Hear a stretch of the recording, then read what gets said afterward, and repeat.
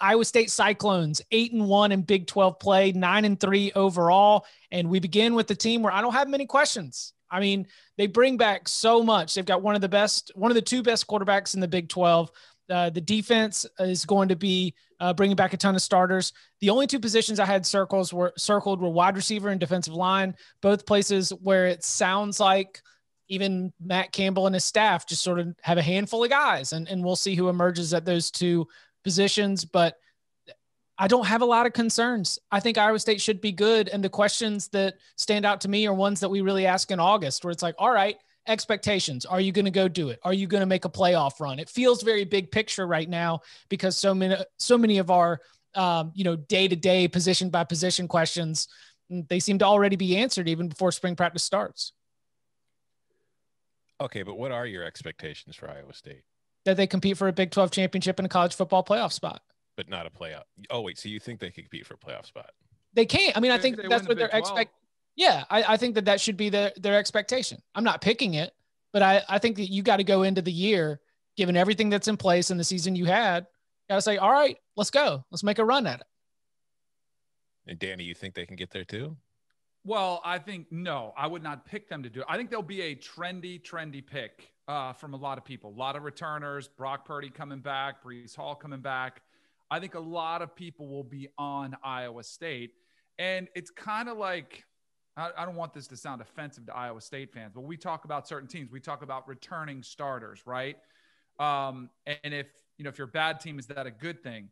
Well, with Iowa State, are their returning starters good enough for whoever's Oklahoma's going to replace people with, you know, and Texas and the other teams that are up there? Now, I will say this: they've cut the gap where they're in that upper tier of talent in the Big 12. I just it's kind of like Alabama in the SEC. Like you got to have something special to pick a different team other than Alabama to win the SEC. Same thing with Clemson and the ACC, and same thing with Ohio State.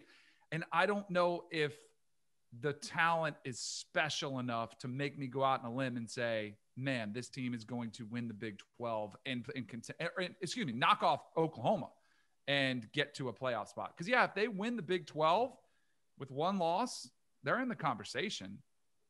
So, yeah, that's, I, I think we're all on the same page here because going into the spring, I don't have too many questions about this team because I think it was a good team last year. I think it's been a good team the last few years, but I also like what you're saying, Danny. Like everybody in the world is going to be on Iowa State this year. They're going to be an underdog, which is kind of causing me to back off because it's like I get it. I understand why people are high on it. They've got a ton of people coming back. They've got a good quarterback. They've got a really good coach. They've got a good coaching staff, and they've shown an ability to really develop pro- the program, develop the players, and to a certain extent, overachieve based on the talent that they have. It's just there's still a part of me that looks at last year with how crazy things were and the conditions that everybody was playing in. Like that's the first time Iowa State has ever finished a season in the top 10 of the AP poll. Like they finished at number nine in the final rankings. I think it's only the third or fourth time they've ever finished a season, period, ranked.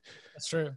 And it's like I have a difficult time looking at the history and results of this program in the long haul, thinking, okay, that's just the norm now. They're going to be a top 10 team. They're going to compete for a Big 12 title, all that stuff. I think that they can. It's just, I don't have, like I said, uh, going into this spring, I'm not looking at this like, hmm, I need to see this. I need to see this. I think I know what I'm going to get with Iowa State. It's just, I think I'm probably going to get eight and four. And I think it's going to be a good eight and four. And there's going to be some wins that they should win, but they're going to lose some close games, you know, that they have a chance to win. I think that's just the way things are going to work out because when I still compare this team to the rest of the Big 12, and we're going to go through the rest of the conference as it stands, obviously, it's just not as talented a team as it has to compete with to win the conference. So I think it's going to be a very solid team. I just I, I don't see another top 10 season coming.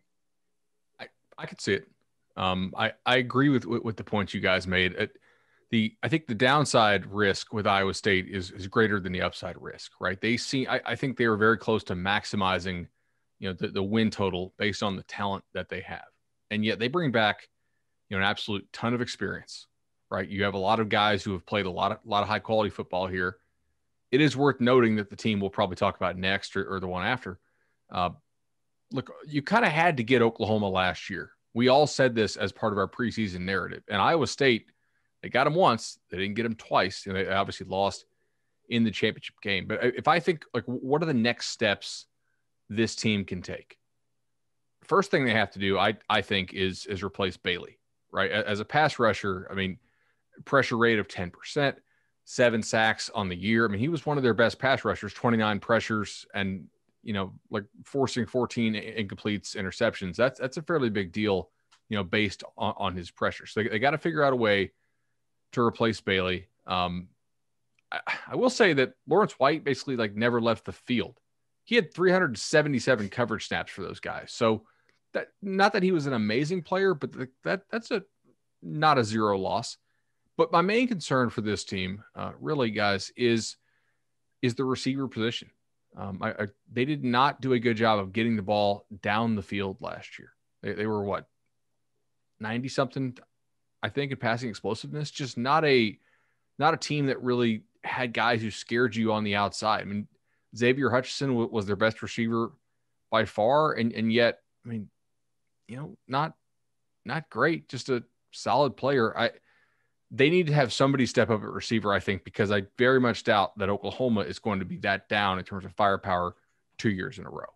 Yeah, because oh. if, if you look at the efficiency aspect of it, like on defense, if you want to go by points per drive, Iowa State and Oklahoma were nearly identical. Like Iowa State allowed 1.55 points per drive, and Oklahoma allowed 1.59. But if you go to the offensive side of the ball, there was a huge gap between Oklahoma and Iowa State. Oklahoma finished first in the Big 12, averaging 3.19 points per drive.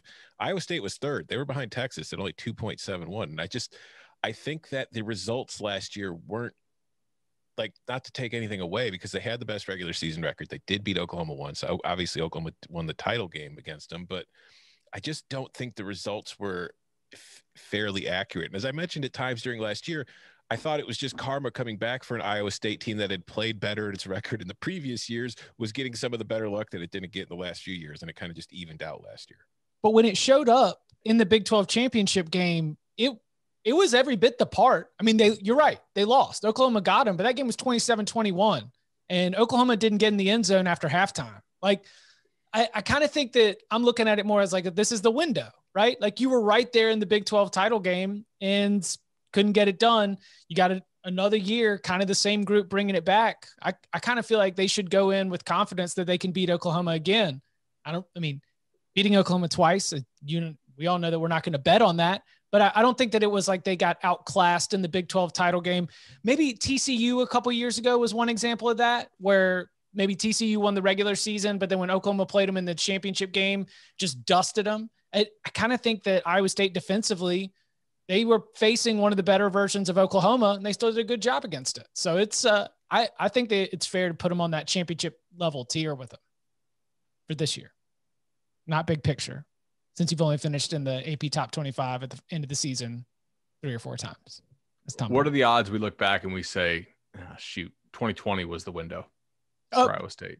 If uh if like Breece Hall goes down with an injury, or if they just continue to not like to score in, in the low 20s in their biggest games. I mean, 21 against Oklahoma, you know, 23 against Texas, 21 in the lost Oklahoma State. Um, you know, like that offense, it's a good offense. It's just it's not an explosive offense yet. When they need That's, to reach back and and you know pump 98 in the ninth inning, they don't have it. No, mm-hmm. it's not how they're built. Do you guys remember preseason last year? Brock Purdy was supposed to be like potential first rounder. Like there was a lot of love coming Brock Purdy's way that he was going to be one of the top tier quarterbacks in the country. And of course, when you set the bar that high and the expectation that high, when you play much less than that, less than the expectations, uh, you know, it makes it look a lot worse. But he's they got to get more out of Brock Purdy too. I mean, they relied on Breece Hall, which was fantastic. I mean, he was probably the surprise of the season out of the Big 12 with uh, uh, Hubbard being the guy that was supposed to be taking all the reps. But I still think Brock Purdy's got to give us more if they want to, you know, take down Oklahoma. He looked like an NFC East quarterback winning ugly games in the mid 20s, figuring yep. out ways to get it done.